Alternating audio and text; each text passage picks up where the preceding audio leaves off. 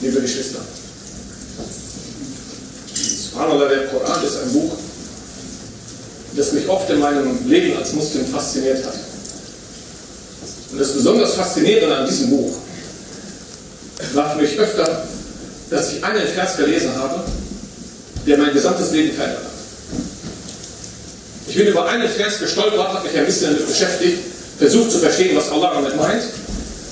Und ab diesem Zeitpunkt war das Leben nicht mehr wie vorher. Ab diesem Zeitpunkt war alles anders. Ein solches Erlebnis hatte ich das letzte Mal, letztes Jahr im Sommer. Die eine oder andere kennen vielleicht. Ich bin im Jahre 2007 das erste Mal damit angefangen, einen Vortrag zu halten. 2007 schon fast 13 Jahre her. Ganz kurze Geschichte, acht Minuten, wie ich zum Islam gekommen bin. Da gab es noch keinen, weil YouTube war noch gar nicht so bekannt, man hatte noch so kleine Webseiten. Und irgendwann, als dann die sozialen Netzwerke groß wurden, alle voran Facebook, das kam schon ein paar Jahre später, habe ich mir eine Facebook-Seite gemacht. 2014 das erste Mal, meine erste Facebook-Seite. Webseiten waren dann schon irgendwie so aus der Mode gekommen. Und es war viel leichter, viele Menschen zu erreichen. Ich habe meine erste Facebook-Seite gemacht, ein paar einfache Sachen gepostet und hat so viele Menschen erreicht. Und letztes Jahr dann kam noch Instagram dazu. Da war ich ein bisschen zu spät, habe den Zug ein wenig verpasst. Aber da habe ich festgestellt, die ganze Jugend ist da. Und man konnte innerhalb kürzester Zeit noch viel mehr Menschen erreichen. Und ich habe letztes Jahr damit angefangen, immer so jeden Tag ein kleines Zitat. Und man hat gesehen, wie sich die Dinge verbreitet hat und manchmal auch wie die Geschwister gesagt haben, hey, das hat mir geholfen, jetzt in dieser einen Situation, das war genau das, was ich hören musste. Und das ging so weit, dass ich letztes Jahr, ich sag mal im Sommer ungefähr, hatte ich dann eine Facebook-Seite mit 44.000 oder 45.000 Followern und eine Instagram-Seite mit 12.000 oder 13.000 Followern insgesamt. Und im Sommer dann lese ich einen Vers im Koran und ich habe alle sozialen Netzwerke dicht gemacht. Abgeschaltet. Facebook dicht, Instagram dicht. Und damals habe ich beschlossen, ich kehre nie wieder in diese Welt zurück. Niemals mehr. Never. Ich wollte sie meiden wie die Pest. Und auch wenn ich vor kurzem das mal langsam wieder angefangen habe, privat bin ich nicht mehr unterwegs. Ich habe keinen privaten Account mehr. Ich bin in keinen Facebook-Gruppen mehr tätig. Ich poste am Tag vielleicht ein kleines Zitat und das war's. Ich mische mich überhaupt nicht an. Keine Kommentarschlachten mehr, keine großen Fragen, beantworten, gar nichts. Bis jetzt meide ich die Seite. Wie ist das gekommen? Auslöser dafür war nur ein einziger Vers im Koran. Wisst ihr, ich bin aufgewachsen in einer Zeit, da gab es noch überhaupt kein Internet. Sowas wie Facebook, YouTube, alles, alles gab es gar nicht. Auch kein Wikipedia, um Hausaufgaben zu machen. Ne? Also wir hatten es wirklich schwer früher. Aber wir haben unsere Freunde dann gefunden, so in der Schule. Man hat irgendwie 20 Leute in einer Klasse und man hat zwei, drei gefunden, die tippten ungefähr so wie du. Mit denen hat man dann Fußball gespielt oder ist zusammen in den Tischtennisverein gegangen oder hat Billard gespielt oder was auch immer. Aber irgendwie haben sich so Leute zusammengefunden, die ja irgendwie ähnlich drauf waren, ähnlich gedacht haben, ähnliche Hobbys hatten. Das passte schon irgendwie zusammen. Und von den 20 Leuten in der Klasse hatte man immer so eine kleine Gruppen, die haben sich dann gebildet und so sind halt Freundschaften entstanden. Und man kannte auch nur diese Leute. Also mehr gab es nicht. Der ganze Freundeskreis, die Menschen, mit denen man zu tun hatte, das waren die zwei, drei Leute, mit denen man sowieso gut klarkam. Außerhalb davon ist die ganze Welt da draußen hat ja gar nicht existiert. Und das hat sich natürlich geändert, als das Internet sich verbreitet hat. Und jetzt meldet man sich bei Facebook an und man geht in eine Facebook-Gruppe, so als Beispiel.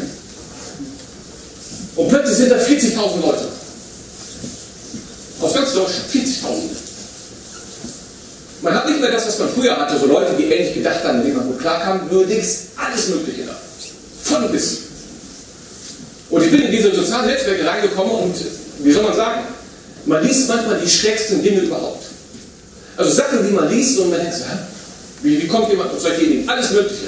Die Liste davon hat kein Ende. Ich habe mich das erste Mal auf den sozialen Netzwerken in Diskussionen verstrickt, ob die Erde eine Scheibe oder eine Kugel ist. Undenkbar früher, aber es gibt es da. Es gibt Leute, die sagen das. Chemtrails, Flugzeuge, die über den Himmel fliegen und wollen uns alle vergiften. Mhm. Ganz bekannt, wird überall verbreitet. Und Diskussionen darüber. Und jeder meint, er hat selber hat recht und der andere ist nicht in der Lage, die Wahrheit zu sehen. Oder ich werde öfter mal gefragt in Fragerunden, was hältst du von Impfen?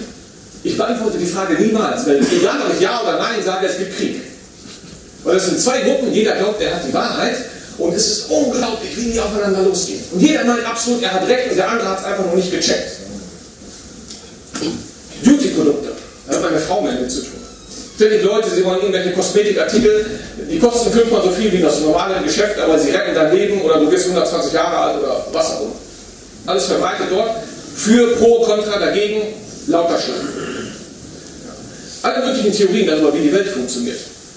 Habt vielleicht schon gehört, dass alle Regierungen auf der Welt von Illuminati regiert werden und äh, kontrolliert werden und ferngesteuert und äh, gibt es Agenten dafür, die das geheim machen oder solche Dinge. Aber nicht nur solche Sachen. Manchmal Sachen, ich weiß es nicht, ist manchmal schwer zu beschreiben. Also ich, ich habe ernsthaft Dinge gelesen, dass es äh, haram ist, Tomaten zu essen, weil wenn man die Tomate aufschneidet, sieht man ein Kreuz drin. Mhm. Ernsthaft Dinge. Und das sind Sachen, die man hört, die man erhört und dann verbreitet. Und das, dieses, die Sache mit den Tomaten habe ich ja nicht von gegeben, das sind tatsächlich Gelehrte, die das sagen. Aber das, muss nicht unbedingt ein Gelehrter sagen. Du hast auch manchmal andere Prediger, mit denen du andere Meinungen hast. Ja. Du tickst einfach völlig verschieden. Einige hält man selber für zu übertrieben, die sehen es zu streng. Und er ist derjenige, er hält dich für zu locker. Mein Gott, wir können, hey, die Religion ist schon was Ernsthaftes.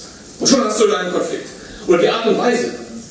Einige sagen, der ist zu laut, zu aggressiv, zu provokant. Der nächste ist zu leise und zu schüchtern, dann muss man auf den Tisch hauen und die Wahrheit rauslassen. Dann hast du schon wieder Diskussionen darüber.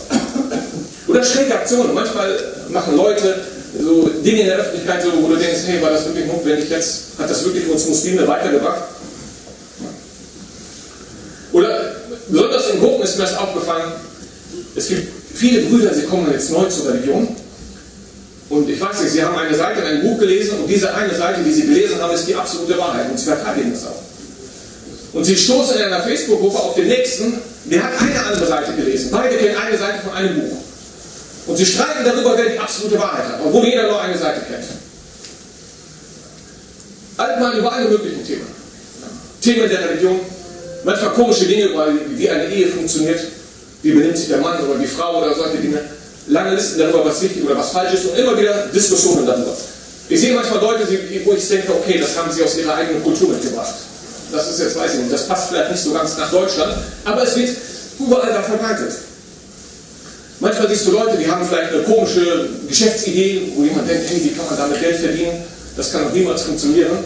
Äh, aber worauf ich hinaus will, du kommst in diese Welt mit diesen 50.000 Leuten, die nicht mehr aus deinem kleinen Umfeld wie früher sind. Und du entdeckst die schrägsten Dinge überhaupt. Das ist die Realität da draußen. Aber was macht man? Die Leute, die manchmal mit diesen Dingen kommen, das sind ja, wenn man ehrlich ist, das sind ja auch unsere Geschwister. Oder? Am Ende sind das unsere Geschwister, das ändert ja nichts daran. Was macht man jetzt mit all diesen Dingen, mit diesen Schrägheiten? Normalerweise würde man ja sagen, hey, das sind unsere Geschwister. Das Erste, was der Muslim tun sollte, ist ja was Gutes denken, oder? Das ist ein Fundament unserer Religion. Das Beste über den anderen denken. Das Beste für ihn wünschen. Das sind so Sachen in unserer Religion. Dua für ihn machen. Locker darüber hinwegsehen, auch wenn er mal was Komisches sagt. Du brauchst ja gar nicht darauf eingehen. Das sind alles Dinge, so Werte von unserer Religion. Der Prophet sagt einmal, du bist in einer Diskussion und du hast Recht in der Sache. Aber dir ist das Paradies versprochen, wenn du es einfach lässt. Du weißt, dass du Recht hast, aber lass einfach. Lass gut sein. Du brauchst nicht mehr darauf eingehen und du bekommst das Paradies. Das sind doch alles Werte von unserer Religion. Aber das, was man beobachtet, ist das exakte Gegenteil. Wenn mal darauf achtet, diese Schrägheiten, die man draußen gibt, die man draußen sieht. Das erste, was man heute macht, ist, man macht einen Screenshot davon. Ne? Irgendwas komisches. Du siehst die Sache mit der Tomate, die man nicht essen darf, am Kreuz dran ist. Fettwasser, von wem es ist. Das erste, was du machst, ist ein Screenshot. Dann verteilst du es unter all deinen Leuten. Schaut mal hier, habt ihr schon gesehen? Einer meint tatsächlich hier Tomate und Kreuz, ne? darf man nicht essen. Und die verteilen es weiter. Das ist das Erste, was man macht. Oder aber derjenige, der es postet, du fängst mit ihm direkt erstmal den Streit an. Was ist das für eine komische Sache, die du hier postest? Das sind ja diese ganzen Diskussionen, die du beobachtest. Du streitest mit dem selber, wer Recht und wer Unrecht hat. Und untereinander redet man dann immer darüber. Habt ihr schon gehört? Schiri sagt so und so. Der eine Typ da aus Saudi-Arabien sagt Y. Der eine Prediger, mein Gott, was hat der wieder gesagt? Das sind so die ganzen Themen, die Beschäftigungen, mit denen man so aufwächst, was man alles so mitbekommt. Tatsächlich ist eines der liebsten Themen in der Jugend heutzutage, wisst ihr, was es ist? Beef unter Leuten. Wer streitet sich mit wem? Ich kenne das tatsächlich, ich habe früher, bevor ich Muslim war, ähm, das ist jetzt für einige komisch, aber ich habe tatsächlich Gangster-Rap gehört. Das traut man mir meistens nicht zu, aber es war tatsächlich so, man möge mir verzeihen. Da kenne ich das. Ost- und Westküste in Amerika haben sich gestritten, wer die richtige Form von Musik und Rap hat. Und denkst, mein Gott, also ich bin von da weggekommen, ich dachte, Alhamdulillah, man hat mich davor gerettet. Aber ich komme in diese Religion und ich sehe das erste wieder genau das gleiche. Aber nicht mit East Coast und West Coast. Hier geht es halt um entweder Impfen oder Tomaten oder Chemtrails oder was auch immer.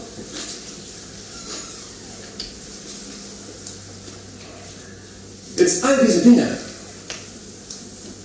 diesen Streit, den man untereinander hat, und dieses Reden über die anderen Leute, das ist zum einen eine Sache, sie hat exorbitant zugenommen mit den sozialen Netzwerken. Das ist die eine Sache. Was mich entsetzt hat, ist, dass ich das nicht einfach nur dort beobachtet habe. Ich habe jetzt immer euch gesagt, ich sehe das in den sozialen Netzwerken, aber wisst ihr, warum ich das an allererster Stelle gesehen habe, von allen anderen? Mir selbst. Das meiste von dem, was ich euch gerade gesagt habe, sind Sachen, die habe ich selber gemacht. Ich rede nicht über andere Leute in den sozialen Netzwerken. All das, was ich euch gerade gesagt habe, das sind tatsächlich das aus meinem eigenen Leben erzählt. Und das, was ich gerade gesagt habe, es ist das, und das habe ich zum Nachdenken gebracht, in einer kurzen Suche im Koran, droht Allah mit härtesten Form von Jahannam. Für all das, was ich gerade erzählt habe. Alles. Das ist dieser eine Vers, der mich so zum Nachdenken gebracht hat. Der erste Vers von Surat Al-Humasa.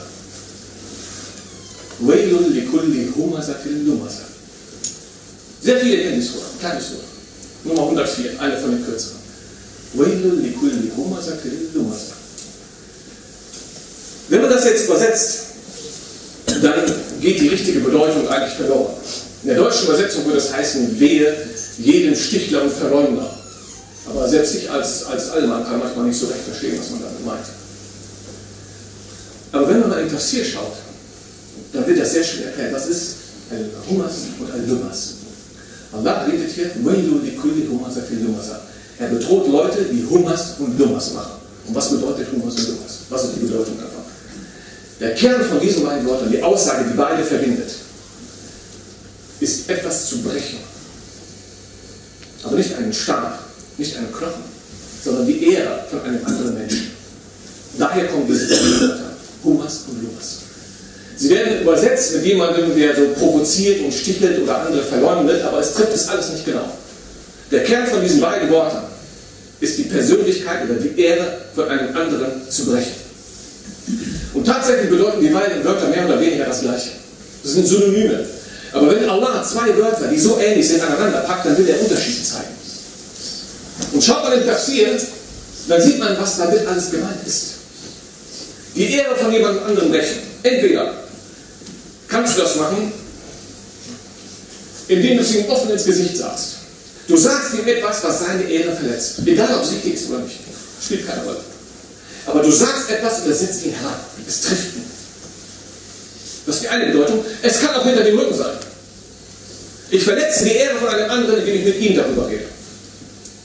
Offen oder ins Gesicht. Es kann sein durch Worte oder durch Taten. Es kann sein, dass ich etwas über einen anderen sage, was seine Ehre verletzt, einfach nur durch Worte. Nur mit dem Mund. Es kann aber durch Taten sein. Dass ich jemanden nachmache. Boah, Maschallah, kennst du den einen Typen, der redet mal so laut. Oder kennst du den, der hat so einen Bart und so weiter. Und die komischen Leute beim Dicke tanzen die so rum. Das, zählt, also das, sind, das sind die Dinge, wovon hier gesprochen wird. Das zählt dazu. Es kann sein, dass du das Lachen in Spaß meinst oder ernsthaft. Das macht gar keinen Unterschied. Es kann sein, dass du wirklich die Absicht hast, jemanden zu beleidigen oder ihn zu verletzen. Vielleicht machst du es einfach nur als Spaß. Aber was Spaß ist, definieren wir ja heute alle selber, oder? Wir sagen manchmal Dinge, sie verletzen einen anderen und dann sagen wir, hey, das war doch nur als Spaß gemeint, ja, das mag sein. Aber er hat das nicht so aufgefasst. Der Punkt ist nicht, ob du das als Spaß gemeint hast, der Punkt ist, ist es bei ihm so angekommen. All diese Dinge fallen darunter. Es spielt gar keine Rolle, in welcher Form, in welcher Farbe, wie man das gemeint hat oder was man nicht gemeint hat. Die Ehre von jemandem anderen zu verletzen, das ist das, was Allah hier bedroht. Und das ist das meiste, was man dort draußen findet. Aber wir machen das natürlich nicht einfach so, eigentlich wissen wir das auch. Es ist ja nichts Neues. Wenn ich jetzt hier stehen würde und ich würde euch sagen, es gibt Hadithe darüber, dass man nicht schlecht über andere redet, dann wäre das langweilig, denn das kennt ihr alle. Es ist für niemand etwas Neues. Aber man findet ja seine religiöse Begründung dafür. Und das macht das Ganze noch hässlicher. Du willst jemanden draußen in einer Facebook-Gruppe attackieren. Du willst mit ihm einen Streit anfangen und ihm zeigen, wie ahnungslos er ist. Wie schräg das ist, was er da sagt und was er postet. Wie weit weg, wie falsch und wie haram oder was auch immer. Machst du das natürlich nicht mit dieser Absicht. Ne? Du willst ihn ja, und jetzt kommst du willst ihn ja nur Nasiha geben. Nasiha. Nasiha ist ein Teil unserer Religion. Aber tatsächlich ist für sehr viele Geschwister heute, wenn sie das Wort hören, Nasiha, ist das ein Albtraum. Wenn einer kommt und sagt, Bruder, ich möchte einen Nasiha geben, dann zittern die Leute schon, weil du nicht weißt, was dabei herauskommt. Nasiha ist nichts Schönes mehr. Und tatsächlich macht einer das traurig. Und selbst wenn ich es ihm nicht direkt sage, ich sage das einem anderen, das ist ja nicht Läster. Läster wissen wir ja, Läster ist was Schlimmes. Das ist nicht Läster, das ist ja, du musst ihn ja warnen. Du musst ihm ja eine Warnung erteilen, was da draußen alles an Schlimmen funktioniert. Ne? Deswegen musst du das immer sagen. Deswegen musst du den ganzen Abend mit ihm sitzen musst mit ihm reden, was diese Gruppe macht und dieser Typ gesagt hat und was der eine gepostet hat und schau mal hier, was der wieder geschrieben hat, etc. Damit kannst du den ganzen Abend verbringen, weil du musst ihn ja warnen. Ne? Das ist ja auch ein Teil der Religion. Ich sage, wenn ich das noch höre, wie man offensichtlich eine Sache, die nur deinem Ego dient, als eine Nasiha verpackt, das ich noch schlimmer. Ich finde das noch viel schlimmer, als offen direkt sagen würde, hey, ich wollte ihm nur eins auswischen. Wisst ihr, man kann diese Religion und das Wort Allahs und die Konzepte dieser Religion für so viele hässliche Dinge benutzen. Und das macht das Ganze noch viel schlimmer. Ich habe vor, vor ein paar Monaten war unsere Spülmaschine kaputt. Und ich habe eine neue gebracht und die passte nicht ganz. Hinten war ein Fuß abgebrochen. Der funktionierte nicht richtig. Und wisst ihr, was ich gemacht habe? Da fehlte so ein Stück. Ich habe aus dem Bücherregal ein altes Buch genommen. Hm, ungefähr so dick, das passte, ein altes Buch. Ich habe es drunter gestellt und bis jetzt ist das Buch unter der Spülmaschine. Die ist jetzt gerade. Hm, fuchsige Idee, oder? Einfach ein altes Buch raus, packt man drunter. Stellt euch mal vor, ich hätte einen Koran genommen. Koran aus dem Bücherregal und dann unter die Spülmaschine, damit die gerade ist. Spülmaschine ist ja nicht unrein, im Gegenteil, die macht das ja sauber. Hm?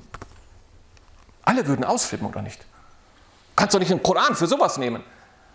Ich meine, hm. und natürlich kann man das nicht. Es ist ein Buch der Ehre, eine Religion Allahs. Das ist ein Wegweiser, deine Rechtleitung für dein Leben. Du kannst das nicht für so etwas benutzen. Und das ist richtig, da würden alle ausflippen. Was doch tausendmal schlimmer ist als das, wisst ihr was? Wenn du den Koran benutzt, so Konzepte wie Nasiha und etc. etc. und es dient nur dazu, dein eigenes Ego zu befriedigen. Das ist noch schlimmer als sowas. Und das ist das, was man so oft da draußen beobachtet, nicht nur bei anderen. Immer daran denken, ich rede einzig und allein von mir selbst. Ich habe es mir selbst beobachtet. In den ganzen sozialen Netzwerken habe ich die letzten fünf Jahre so viele Diskussionen geführt. So viele Diskussionen. Ich wusste jedes Mal von Anfang an, es wird nichts Gutes dabei herauskommen. Ich wusste das. Aber es ging ja nicht darum, dass was Gutes dabei herauskommt. Wisst ihr, was dabei herauskommen sollte? Das Ego sollte so werden. Du willst doch jemandem zeigen, dass du recht hast und er Unrecht. Das ist alles, worum es ging. Und das kannst du immer machen. Es kommt nichts Gutes dabei raus. Du kannst nicht von Allah etwas dafür erwarten, aber das Ego wird bedient. Und das Schönste obendrauf, du kannst es als Religion verpacken. Das ist noch obendrauf. Dein eigenes Ego befriedigen und sich als religiös präsentieren. Schöner kann es doch überhaupt gar nicht werden, oder? Lumasa. Wehe jedem, der die Ehre eines anderen Menschen bricht. Jedem Einzelnen. Und das erste Wort Whale, das heißt, es wird im Deutschen mal Wehe. Das hat man vor 100 Jahren mal gesagt. Das gibt es heute nicht mehr. Das Wort Whale ist ein Ausdruck, den verwendet man, wenn du die Hoffnung aufgegeben hast, dass jemand sich bessert. Du siehst etwas bei jemandem, das sagt man zum Beispiel zu einem Tyrannen. Du stehst vor einem Tyrannen, er tut dir Unrecht an und du kannst dich nicht dagegen wehren. Und dann sagt der Araber, Whale, Whale. So, du gibst die Hoffnung auf, dass er irgendwas Gutes bei ihm noch rauskommt und du wünschst ihm einfach seinen Untergang. Das ist ein Ausdruck dafür. Im Koran wird er auch verwendet, wenn die Eltern Kinder sehen und die haben jede Hoffnung aufgegeben, dass sie irgendwann nochmal zur Religion finden. Whale ist ein Ausdruck, wenn jemand so schlimm ist, dass du wirklich denkst, aus dem kann niemals mehr etwas Gutes herauskommen. Aber für wen verwendet Allah hier diesen Ausdruck Whale? Er verwendet ihn für den, der all diese Charaktereigenschaften hat, die ich gerade beschrieben habe. Der unterwegs ist und dessen Ziel es ist, die Persönlichkeit und Ehre der anderen zu brechen. Für den verwendet er Whale. Whale ist einmal Hoffnung ausgeben und Whale ist was zweites, ist ein Dual. Whale sagst du zu jemandem, wenn du ihm den Untergang und die Zerstörung wünscht. Whale ist eine Form von Dua. Aber wer macht hier Dua? Wir gehen manchmal untereinander rum und wir suchen uns gute Leute, weil wir glauben, wenn sie Dua machen, das wird von Allah akzeptiert. Und ja, das ist, ist legitim auch, dass man jemanden bittet, für einen Dua zu machen. Und wir glauben, je näher jemand zu Allah ist, desto besser wird vielleicht sein Dua akzeptiert. Und noch obendrauf, es wäre das schön, wenn ein Engel für einen Dua machen würde, denn Engel sind noch näher bei Allah. Aber hier im Koran, derjenige, der diesen Dua macht, auch wenn Dua vielleicht nicht das passende Wort ist, es ist kein, kein jemand, der Allah nahe steht, auch kein Engel, es ist Allah selbst, der Sohn den Untergang wünscht. Das war das, was bei mir Klick gemacht hat.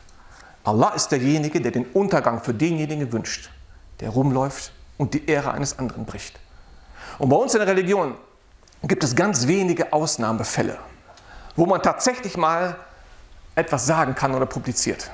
Aber wenn eine Sache so hart von Allah bedroht wird, besser gibst du es komplett auf.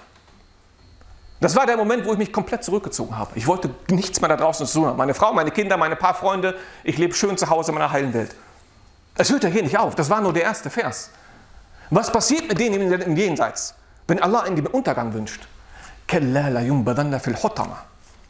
er wird in Al-Hutama geworfen. Al-Hutama ist einer der Bezeichnungen für Jahannam. Al-Hutama ist ein Name von Jahannam. Aber Al-Hutama kommt von Hutama. Das ist dieses, wenn im Herbst, wenn das Laub braun wird und das fällt runter und man tritt drauf und es zerbricht so. Das macht dieses Geräusch. Das ist Hutama. Hutama behandelt dich als Menschen so, wenn du da reingehst. Und la yumbadanda, du wirst reingeworfen, dieses Wort, für, es gibt viele Wörter im Arabischen für werfen, aber das ist ein Wort, wenn du etwas achtlos wegwirfst. Wenn du einen Schokoriegel kaufst und du machst das Papier weg und wirfst das so auf die Straße, das ist es. La yumbadanda, er wird reingeworfen. Es wird ihm keine Beachtung geschenkt. Derjenige, der das macht. Und woher weißt du, was Al-Hotama wirklich ist? Allah fragt das. Woher weißt du, was Al-Hotama ist? Wie kannst du das wissen? Und der Vers, der hier nachkommt, ist nach einigen Gelehrten die härteste Beschreibung von Jahannam im ganzen Koran. Allah beschreibt Al-Hutama mit Narullahil Muqada. Allahs angezündetes Feuer.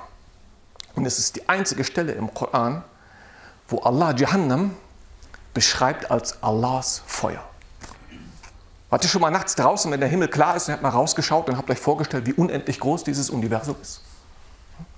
Und du stehst da und denkst, mein Gott, derjenige, der das geschaffen hat, so ein gewaltiges Universum, was so perfekt funktioniert. Wow! Aber derjenige, der das geschaffen hat, so ein gewaltiges Universum, wenn er sagt, er hat ein Feuer geschaffen, Allahs Feuer, wie gewaltig wird dieses Feuer sein? Und wenn du schaust, wie perfekt diese Schöpfung funktioniert mit all ihren kleinen Gesetzen, wenn eins davon ausfallen würde, würde das ganze Universum zusammenbrechen. Wie perfekt würde wohl ein Feuer sein, was Allah für jemanden angezündet hat? der rumläuft und die Persönlichkeit und Ehre der anderen verletzt. Wie wird das sein? أقول قولي هذا وأستغفر الله لي ولكم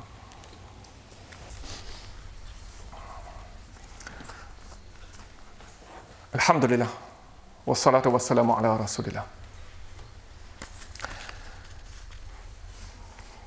Tatsächlich waren all diese Dinge, die haben bei mir persönlich dazu geführt, dass ich mich überhaupt nicht mehr mit Fehlern beschäftige, die draußen umlaufen. Und ich empfehle es auch jedem.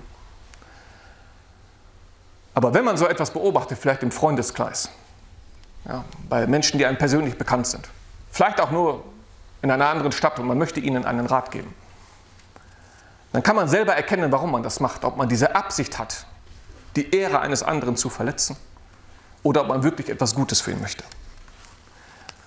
Und es gibt Anzeichen dafür.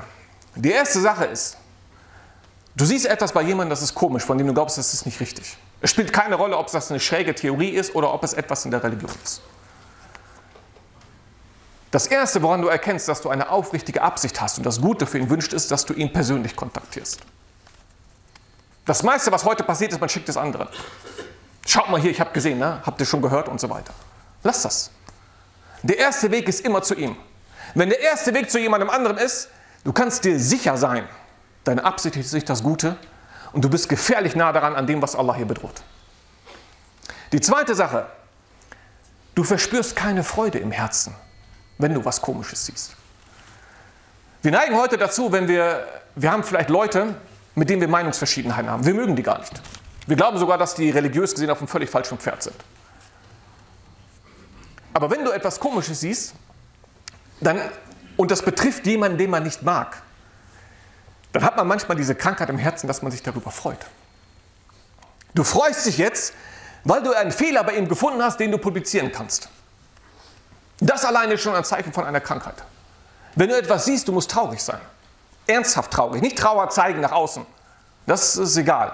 In deinem Herzen, wenn du es siehst, musst du traurig sein. Ich habe einmal bei mir auf der Facebook-Seite eine Geschichte von Abu Hanifa gepostet. Abu Hanifa war damals bekannt, dass er sehr viel mit anderen Gruppen Debatten hatte über bestimmte Streitthemen in der Achida. Und einmal, als er gesehen hat, dass sein Sohn das auch angefangen hat, hat er gesagt, mach das nicht. Debattier nicht mit den anderen. Und sein Sohn sagt ihm, aber du hast das doch selber gemacht. Und Abu Hanifa sagt ihm, ja, aber wenn wir das gemacht haben, wir saßen zusammen und wir hatten Angst, dass unser Gegenüber was Falsches sagt. Ihr macht das heute und ihr hofft, dass ihr diskutiert und der andere sagt einen Fehler, den ihr veröffentlichen könnt. Das war damals schon in der Zeit. Wie ist das erst heute? Die dritte Sache, wenn du jemandem einen Ratschlag geben willst, dann mach das auf eine schöne Art und Weise. Nicht dieses sarkastische, was man heutzutage sieht. Nicht verletzend. Allah sagt selbst Musa, als er ihn zum Pharao schickt, sagt zu ihm ein mildes Wort. Pharao, der größte Tyrann, aber Allah sagt ihm, sag was Sanftes zu ihm. Sag was Sanftes zu ihm. Und die vierte Sache, wenn du ihm etwas Gutes möchtest, du machst Dua im Herzen für ihn. Du machst Dua im Herzen. Dass wenn es wahr ist, was du sagst, dass er die Wahrheit annimmt. Und selbst wenn er sich irrt, dass du hoffst, dass Allah ihm verzeiht. Du hoffst im Herzen, dass Allah ihm verzeiht. Und die letzte Sache, wenn ihr jemandem etwas Gutes wollt und ihr wollt ihm einen Ratschlag geben, dann versucht es so zu machen, dass ihr nicht als derjenige rüberkommt, der versucht, einen anderen zu belehren. Ich habe in meiner Heimatstadt mal eine schöne Begebenheit gesehen. Wir standen im Gebet und äh, es war das Gemeinschaftsgebet und jemand kam und hat einen Fehler gemacht. Er kam zum Gebet, hat sich angeschlossen und etwas falsch gemacht. Und neben mir steht ein Bruder, der in der Moschee Vorträge macht. Er hat Wissen. Und er sieht diesen Fehler im Gebet von dem anderen. Er sieht das. Wir haben das beide gesehen aus dem Augenwinkel. Und dieser Bruder, der Mashallah wirklich Wissen hatte, nach dem Gebet will er den anderen darauf hinweisen, dass er einen Fehler gemacht hat. Aber er sagt ihm nicht, du hast einen Fehler gemacht. Wisst ihr, was er gemacht hat? Er hat ihn nach dieser Sache gefragt. Hör mal zu, Achi, ich habe gerade gesehen, du bist später gekommen. Wie macht man das dann mit so und so? Und er hat ihn so gefragt, als wenn er keine Ahnung hat, was die Antwort auf die Frage ist. Und ich wusste, dass er die Antwort kennt, aber er hat es ihm gegenüber so getan, als wenn er die Antwort nicht kennt, als wenn er unwissend ist, als wenn er keinen Plan hat. Und der andere Bruder, der den Fehler gemacht hat, er gibt ihm die falsche Antwort. Und der Bruder sagt ihm nichts. Er wartet erstmal ab. Und später schlägt der Bruder, der den Fehler gemacht hat, vor, wir können auch den Sheikh fragen. Und der andere Bruder, ja, das ist eine gute Idee, lass uns mal gucken, vielleicht hat er eine gute Antwort. Beide gehen zum Sheikh, fragen ihn in dieser Angelegenheit und der Sheikh korrigiert das. Und die Sache war erledigt. Und ich kenne den Bruder, der das korrigieren wollte, der daneben stand, der so getan hat, als wenn er die Antwort nicht kennt. Ich kenne ihn persönlich und ich habe gedacht, was ist, was ist los? Du kennst doch selber die Antwort. Ich habe die richtige Antwort schon von ihm gehört. Er wollte ihm gegenüber aber nicht so rüberkommen, als wenn er derjenige ist, der die richtige Antwort weiß. Und deswegen hat er eine Geschichte angefangen, in der Hoffnung, dass man irgendwie zu dem Sheikh kommt, bei dem es okay ist, bei dem geht man davon aus, er kennt die richtige Antwort. Und es wird nichts in das Herz des anderen Bruders kommen. Es wird nichts in sein Herz kommen. Lasst die Herzen unter euch intakt. Ihr werdet so viele Dinge da draußen sehen. Nicht nur in den sozialen Netzwerken, da quillt das Ganze über. Überall unter euch werdet ihr manchmal komische Sachen sehen. Hier in der Moschee, bei Brüdern, bei Schwestern, was auch immer. Wünscht das Gute für euren anderen. Und wenn ihr überhaupt darüber nachdenkt, ihr wollt ihn zum Guten führen, dann macht das auf eine schöne Art und Weise.